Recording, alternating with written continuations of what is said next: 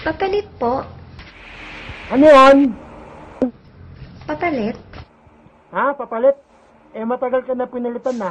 Ayoko